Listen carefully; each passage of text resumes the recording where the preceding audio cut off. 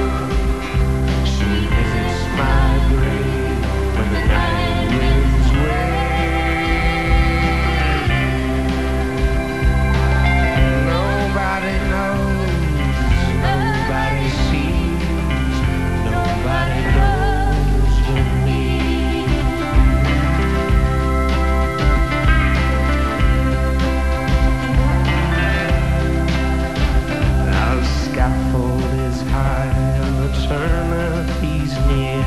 She stood in the crowd and shed not a tear.